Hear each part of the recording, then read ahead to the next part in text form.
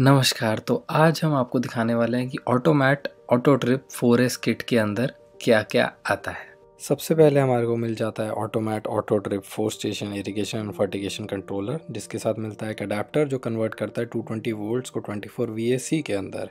फिर चार solenoid walls जो इरिगेशन के अंदर हेल्प करते हैं और एक फिफ्थ बाईपास वॉल जो हमारे को फर्टिगेशन में हेल्प करता है। ये तब इंस्टॉल होता है जब वेंचुरी हेड यूनिट पर इंस्टॉल हो जाती है। फिर हमारे को मिलता है एक फ्लो सेंसर जो बोरवेल और कुएँ में से पानी आता है, ये उसके फ्लो को सेंस करता है। फिर एक रेन सेंसर फिर pump start relay of 24 four और ये हैं वायर कनेक्टर जो जॉइन करते हैं दो वायर को कि कनेक्शन वाटर प्रूफ रहे। दैट्स ऑल अब कुछ चीज़ें जो हमारे को किट से अलग चाहिए रहेंगी पहली है कनेक्टिंग वायर्स जो हमारे को सोलेनॉइड वॉल्व और कंट्रोलर के बीच में जोड़ने में काम आएँगी। फार्म के साइज़ के हिसाब से ये कहीं भी 0.5 स्क्वायर एम से लेके 1.5 स्क्वायर एम के बीच में हो सकती है। फिर आता है हमारा प्लायर वायर कटर और टेस्टर ये चार चीज़ें हमारे को अलग से चाहिए रहेंगे। तो जैसा कि आप देख सकते हैं कि हम कंट्रोलर और अडेप्टर को अब कनेक्ट करेंगे एक दूसरे से। कंट्रोलर के अंदर जब आप खोलेंगे सामने वाला लेड तो आपको बहुत सारे पोर्ट्स दिखेंगे और नीचे लिखा होगा वन टू थ्री फोर या फिर ज़ीरो ट्वेंटी फोर ऐसे सारे चीज़ें लिखी होंगी। हमारे को क्या करना है, जो अडेप्टर की जो वायर है, उसके अंदर दो कनेक्शंस होंगे। पहला वायर जाएगा ज़ीरो में और दूसरा वायर जाएगा 24 वाले पोर्ट के अंदर, जैसा कि आप देख रहे हैं। कनेक्शन हो जाने के बाद एक बारी के लिए हम अडाप्टर को सॉकेट में लगा के देख लेंगे कि हमारा जो कंट्रोलर है वो ऑन हो रहा है कि नहीं।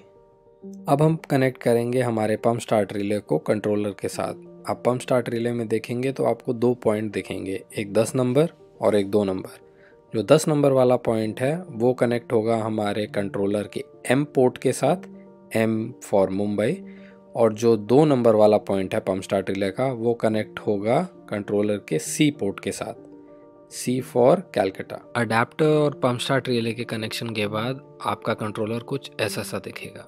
इसके बाद बारी आती है हमारे रेन सेंसर की। आप ध्यान से देखेंगे तो रेन सेंसर के अंदर आपको दो वायर दिखेंगे और कंट्रोलर के अंदर एक जगह पर रेन लिखा होगा। वहाँ पर दो पोर्ट होंगे। तो हमारे को इन दोनों वायर्स को उस रेन के एक एक पोर्ट के अंदर डालना है, जैसा कि आप यहाँ पर देख रहे हैं। ये है हमारा फ्लो सेंसर और इसके कनेक्शन भी बिल्कुल रेन सेंसर की तरह ही होते हैं। इसके अंदर से जैसे आप देख रहे हैं कि दो तारे निकल रही हैं और कंट्रोलर के अंदर एक जगह पर लिखा होगा लो फ्लो उसके अंदर दो पोर्ट होंगे तो ये दो तारे जैसे आप स्क्रीन पे देख रहे हैं, वैसे कंट्रोलर के अंदर कनेक्ट कर दीजिए। अब हम अपने सोलेनॉइड्स को कंट्रोलर से कनेक्ट करना शुरू करते हैं, पर उससे पहले थोड़ा इनके बारे में जान लेते हैं। इसके अंदर एक आपको ऊपर ग्रीन लेवर दिख रहा होगा जिसपे ऑन या ऑफ़ लिखा होगा। देखिए, अगर ये लेवर हमारी तरफ़ फेस कर रहा है, इसका मतलब होता है वो ऑटो मोड पे है और हमारे को मेक श्योर sure करना है कि हमेशा ये हमारी तरफ़ फेस कर रहा हो जब हम कनेक्शन कर रहे हैं। और इसको अगर आप घुमाएँगे तो ये जब दूसरी तरफ़ फेस करने लगेगा, हमारे से दूसरी तरफ़ तो उसका मतलब होता है कि वो मैनुअल मोड पे है। अब मैनुअल मोड का सिग्निफिकेंस ये होता है कि कोई ट्रबल शूटिंग हो या वॉल्व की कोई कॉयल ख़राब हो गई हो तो तब मैनुअल मोड काम पे आता है। दूसरी चीज़ कि इसके अंदर आपको लेफ़्ट और राइट दोनों जगह पे एरोज दिख रहे होंगे। तो जो एरो आपके सोलिनॉइड की बॉडी की तरफ़ फेस कर रहा होगा, वो इनलेट होता है और जो एरो बॉडी की बाहर की तरफ़ फेस कर रहा होगा, वो आउटलेट होता है। तो अब हम कनेक्शन शुरू करते हैं। तो अब हम शुरू करते हैं हमारे सोलिनॉइड्स के कनेक्शन और उसके अंदर हम सबसे पहले शुरुआत करेंगे अपने बाईपास सोलिनॉइड के कनेक्शन से। हर सोलिनॉइड के अंदर से आपको दो वायर्स निकलती हुई दिख रही होंगी। तो मैंने पहली वायर को रेड कलर से दिखाया है और दूसरी वायर को मैंने पर्पल कलर से दिखाया है। पर अभी हम स्टार्टिंग के अंदर रेड वाली वायर्स को सबको कनेक्ट करेंगे कंट्रोलर के साथ। तो सबसे पहले आप जैसे देखेंगे कि सोलिनॉइड फाइव में से एक वायर निकल रही है और कंट्रोलर के अंदर एक बी पोर्ट है बी जो आपको यहाँ पर दिख रहा होगा तो बी से एक वायर निकल रही है। तो कंट्रोलर हमारा जहाँ पर भी लगा होगा, हमारी एक सोलनॉट फाइव में से वायर आ रही होगी और कंट्रोलर में से बी से एक वायर निकल के आ रही होगी और ये दोनों आके यहाँ पर कनेक्ट होंगी। यहाँ और यहाँ पर आपको एक ब्लू डॉट दिख रही होगी। ब्लू डॉट का ये मीनिंग है कि इसके ऊपर हम एक कनेक्टर लगा देंगे। इस कनेक्टर से क्या होता है? कि जब आप दोनों वायर्स को इसमें डाल के इसको घुमाना शुरू करेंगे, जब ये पूरा घूमना बंद हो जाएगा, इसका मतलब ये है कि आपका जो कनेक्शन है वो अब वाटर प्रूफ हो चुका है। तो ये तो था हमारा पहला कनेक्शन। अब जो सोलिनॉइड में से दूसरी वायर निकल रही है, ये पर्पल कलर की, ये आप देख रहे होंगे कि ये थोड़ा यहाँ पर कुछ कनेक्शन हो रहा है अलग से। तो मैं आपको थोड़ा याद दिला देता हूँ कि जो हमने जो रिले पहले इनिशियली इंस्टॉल करी थी तो उसका एक पोर्ट गया था एम में और दूसरा पोर्ट गया था सी में। तो ये सी का मतलब होता है कॉमन कि अब एक कॉमन से तार आ रही है, एक पम्प स्टार्ट रिले से तार आ रही है, वो एक जगह पे जुड़ी हुई है। और हमारा जो सोलिनोड फाइव में से तार होगी, वो भी जाएगी और सीधा जाके इसी कनेक्शन के अंदर मैच हो जाएगी।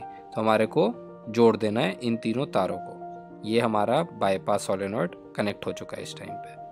तो बाईपास सोलिनॉइड के बाद अब हम कनेक्शन करेंगे हमारे solenoid one two three four का कंट्रोलर के साथ। सबसे स्टार्टिंग के अंदर हमारे को पता है कि हर सोलिनॉइड में से दो वायर निकलती हैं तो हर सोलिनॉइड की एक एक वायर को हम कंट्रोलर के साथ कनेक्ट करेंगे। सोलिनॉइड वन से स्टार्ट करते हुए जो आप देख रहे हैं रेड वाली वायर निकल रही है एक सोलिनॉइड वन से और एक कंट्रोलर में से नंबर वन पोर्ट में से वायर निकल रही है। और ये दोनों जाके जहाँ पर जुड़ रही हैं, वहाँ पर एक ब्लू डॉट लगा हुआ है मतलब वहाँ पर हमारे को एक कनेक्टर लगाना है कि हमारा जो कनेक्शन है, वो वाटर प्रूफ हो जाए। सिमिलरली सोलिनॉइड टू के अंदर भी आप सेम चीज़ देख रहे हैं कि पोर्ट टू से एक वायर निकलेगा और सोलिनॉइड टू के अंदर जो एक वायर निकलेगा, वो मिलेगा एक जगह पे और वहाँ पर हम कनेक्टर लगा देंगे वाटर प्रूफ करने के लिए। सेम चीज़ थ्री में अप्लाई होगी कि थ्री नंबर पोर्ट से वायर निकल रही है और सेम चीज़ सोलिनॉइड फोर में देखी जाएगी कि फोर नंबर पोर्ट से एक वायर निकल रही है और सोलिनॉइड फोर में से एक वायर निकल रही है और वहाँ पर हम एक कनेक्शन कर रहे हैं। इस कनेक्शन के बाद हमारे हर एक सोलिनॉइड के अंदर एक एक वायर होगी, जो अभी कनेक्शन करने के लिए बाकी होगी। सोलिनॉइड नंबर वन से शुरू करते हुए हम जो कंट्रोलर में से सी पोर्ट में से तार आ रही है, जो पम्प स्टार्ट रिले में से पोर्ट नंबर टू से तार आ रही है, और जो सोलिनॉइड बाईपास वाला है हमारा, उसमें से जो तार आ रही है, जो हमने कनेक्शन किया था, उसी में जाके हम इस वायर को कनेक्ट कर देंगे। इसके बाद, क्योंकि हमारे को चारों सोलिनॉइड को कनेक्ट करना है सेम कॉमन के साथ तो फिर हम जो सोलिनॉइड वन में से वायर जा रही है, उसी के अंदर हम लूपिंग कर देंगे और उस वायर को हम सोलिनॉइड टू थ्री और फोर के साथ कनेक्ट कर देंगे कि वो सारे जाके हमारे कॉमन के साथ कनेक्ट हो जाए। तो इसके साथ साथ हमने हमारे ऑटो ड्रिप के सारे कनेक्शंस को सक्सेसफुली अचीव कर लिया है। अब हमारे को बस एक चीज़ ध्यान रखनी है कि कंट्रोलर के अंदर आपको पोर्ट्स के ऊपर एक छोटा सा ब्लैक कलर का स्विच दिख रहा होगा, जिस पे ऑन और ऑफ़ लिखा होगा। ये कंट्रोलर के अंदर एक बैटरी है, उसका स्विच है, और जब आप कंट्रोलर ऑन करेंगे, आपको हमेशा याद रखना है कि आपको इसको ऑन पे रखना है, क्योंकि अगर लाइट जाती है तो जो ये बैटरी है, इसके अंदर आपके सारे प्रोग्रामिंग की मेमोरी स्टोर्ड रहेगी। That's all thank you for watching